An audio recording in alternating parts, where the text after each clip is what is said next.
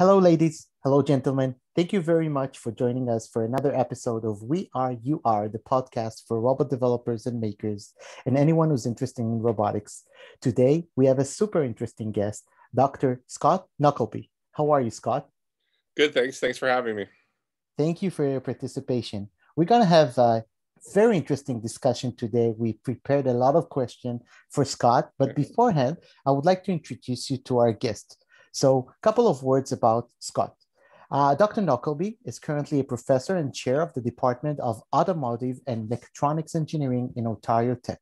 He's also the director of Mechatronic and Robotic System Laboratory, which he established in 2005. Scott obtained his PhD in mechanical engineering in the area of robotics from the University of Victoria in 2003. He started at Ontario Tech University in 2004. He has over 115 referred journal and conferences publication, and his research group has been involved in a number of industrial projects with Cameco Corporation and Ontario Power Generation. His particular focus is on the application of advanced kinematic for control of redundant manipulator system, including joint redundant arms, redundantly actuated parallel manipulators, and mobile manipulator systems. We're going to talk a lot about manipulation today, Scott. uh, so the first question, and it will be a general question for you, Scott, sure. would be what do you think, based on your experience, and you have a lot of experience, are the biggest challenges facing the robotic industries? The biggest challenge is designing robots that can work alongside uh, humans in a safe manner, in, in a manner that humans could easily work with. So traditionally, robots like robot arms would be in an industrial setting, you know, like a car manufacturing facility. We had the arms in work cells. Humans, they don't interact. Uh, so the robot can easily operate. There's no safety issues. If they have to go work on the, the arm, they shut the work cell down and, and they go in. But now we're talking about having robots working alongside humans, interacting with humans, and that brings all sorts of safety issues. And so you know there is work in that area already but it, i think that's one of the sort of growing areas that needs to be uh, really worked on so that we can get to the point where you know robots interact with humans almost seamlessly so we're going to ask you this about this uh, issue in about a couple of, of questions uh, sure. because we are interested in the interactions between human and robots not only in the industrial environment but also in the home environment but yeah. that brings us beforehand to the issue of ethics and the interactions between human and robots. So, what do you think would be the most important ethic guidelines that we should uh, develop on robots while interacting with human beings? Well, I think first and foremost, you know, do no harm. I think you know it was um, was it Isaac Asimov's rules of robots? I think that was one of the first ones, right? Obviously, we you know, as engineer, as an engineer, our first and foremost is safety of the public and the environment, and uh, that pertains to robots. We, our robots need to be safe. They need need to be designed so that you know they never would hurt a human. Right. So um, there's a lot behind that, though, obviously, to implement that. But I think that's the the most ethical part. Okay, so let's talk about manipulation and arms. Sure. Now, one of the main usage, as far as we know currently, is in factories. Boston Dynamics just released its product that is helping uh, to bring baggage from one place to the other. But do you think that the home environment or the business environment, which is not a factory, could use manipulation as well? And if so, in which industries do you expect this to be implemented? I mean, in the near future? Yeah I, that is to me the, the growth area is, is moving these robots out of the industrial environment into into the you know into home into service you know like working in hospitals like you know with the whole covid pandemic obviously that's been an area where we've seen more and more robots used. Um, and i think that's going to continue to grow. You know doing tasks like delivering items to to people uh, we'll see more of that. You know companies like amazon and google they're all working on uh, delivery systems, especially Amazon. And so I think we're going to see more of that. And I think we're, you know, hopefully in even my lifetime, we'll see the point where, you know, everyone has like a robot butler or assistant. You know, nobody likes doing dishes, right? So, you know, robot that will do the dishes, do the laundry. I that is definitely uh, something I think that will be coming, um, not next year or anything, but down the road. I think. Okay, and how would you recommend robot developers or designers to uh, think about such arms? Should how many degrees of freedom? I mean, potentially, should this arm have or should have? And what are the limitations in terms of cost? I mean, and and other elements. Sure. Um, so, like for typical, say, robot motion, uh, we need you need six degrees of freedom. All right, so that's three degrees of freedom to position something in the X, Y, and Z directions, and then another three degrees of freedom to orient about the X, Y, and Z axes. Um, so that's the minimum, and that's what most industrial arms have. They have six degrees of freedom. Uh, but if you look at your arm or a human arm, uh, nature's evolved us. We have seven degree of freedom in our arm. All right. So not counting you know your fingers, we have three at the shoulder, one at the elbow, and then another three at the wrist. So uh, although we only need six degrees of freedom to actually position something in space, that seventh uh, degree of freedom gives us what we call redundancy. And that's one area that I've, I've done a lot of research in. And the challenge in robotics is how do you effectively use that redundancy? We as humans, we just do it, right? We use it to our advantage. You know, if you want to, if you're going to hold up something, you know, like a, if you look at a weightlifter, all right, you know, when they're doing the, the lifting, they want to get their arms straight up as soon as possible because that minimizes the, the loading in the arm. All right. Robots don't really think that way. So we need to develop algorithms so that they utilize that redundancy effectively. So I think we, will see is arms that mimic the human arm. So there'll be seven joints and there, there are arms out there and there is a lot of work on this, but how to effectively utilize that redundancy is, is still an open area. There is a lot of work on it. Um, but you want an arm that effectively uses the redundancy because you have in, in essence with redundancy you have an infinite number of ways to do something. Like there's an infinite number of ways i can pick up that object. What's the best way? We just do it naturally. How to teach the robot to do it that's a that's a challenge. Interesting. And do you think there'll be difference between the part of the arm until it reaches the gripper or the hand itself? Or it should be one piece that is i mean simultaneously working together or or there should be several grippers that should be released in one specific robot? Yeah i think yeah it has to definitely be a holistic design when you're looking at uh, designing arms that work with humans right? Because you don't want any part of that arm to, to injure the human. Uh, in terms of gripping yeah that's a you know the human hand is extremely complex.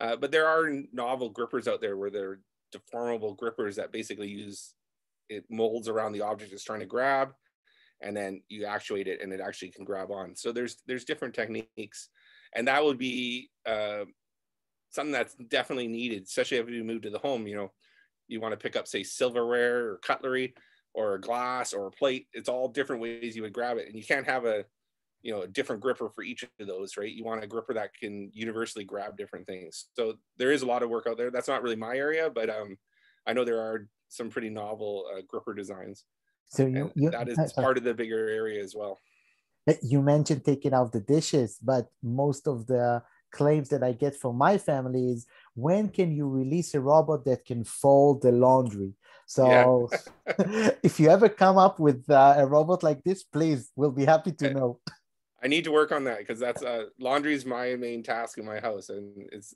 it's like a never ending job. It seems. So. okay, like like all of us, my friend. Yeah. Um, let's talk about AI for a second. Okay. Um, in many of the arms that we are familiar with, some manufacturers place a camera on the arm itself in order to help the, the processor to understand exactly what it is holding, how it can be referred to, what it should be doing with. What do you think will be the optimal place to locate the camera and if at all? Um, I think you would probably need a, a, couple cameras. I think you would need one sort of a wider view, uh, sort of from the base perspective of the arm, and then you would obviously need a, a closer up uh, camera near the near the the end effector or, the gripper part. So I, I, think those would be the two locations. So the wider view would show the whole arm what it's doing, and then the gripper view camera would be giving that detail for how to pick up that item in, in, in particular. Okay, interesting. And I'm taking you back to the human uh, robot interactions and yeah. the places in which they will correspond in the near future. So, putting aside industries and factories, yeah. what would you think would be the next industry to adopt robotic and automation processes? Um, I think there's there's a couple.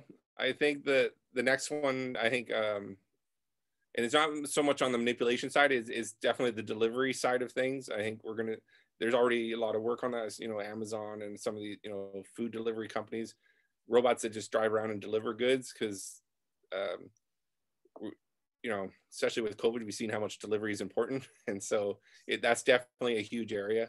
I think in terms of arms interacting with people i think um, it was a lot of it will still be say industrial but it will be collaborative and uh, um, production lines. So instead of the robots all working in their work cells by themselves, you might have a robot working beside a human that's handling the human parts and the humans doing the more intricate assembly and so on. I think we're going to see that. And I think we'll see them uh, moving into things like uh, hospitals and um, uh, elderly care, you know, uh, facilities where you just need sometimes extra hands to help. Uh, the robot can provide things, say to the nurse or the doctor, um, deliver medicine to patients and that kind of thing. I think we'll see more of that as well. It, it's really almost limitless where they can go. It's just uh, where it makes economic sense, and then you know as prices come down, you'll see it wide, used wider and wider. Interesting. And Scott, maybe can you tell uh, to the audience a bit about how did you found Mechatronic and Robotic Systems Laboratory, which you established? What were what were the reasons for the establishment of such a laboratory? Why did you do yeah. that? Um, so I I started grad school uh, at the University of Victoria, and uh, I, my master's was in mechanism design, and then I I did a PhD in robotics, and I was actually looking at redundant uh, robot arms, so things like the um, the Canadarm2 on on the space station. That's a redundant arm. Um, Dextre, the dual arm system that's a redundant arm as well. So I was interested in the kinematics of that. And so when I got my faculty position at, uh, at Ontario Tech here, it was just sort of natural to start a lab in the area of mechatronics and robotics. Mechatronics at the time was sort of a, a it's still a relatively new field, but it, it was a, a, definitely a newer term back in the early 2000s. So uh, you know, robotics, I always say, is a perfect example of a mechatronic system. So it's uh, they go hand in hand. Mechatronics extends beyond robotics, and so you know, it, they they go well together. So that, that's sort of how it started. Okay, and one last question before sure. we finish. So, if I would ask you, what would be interesting project that you are looking at other than yours what would you state would be the most interesting ones?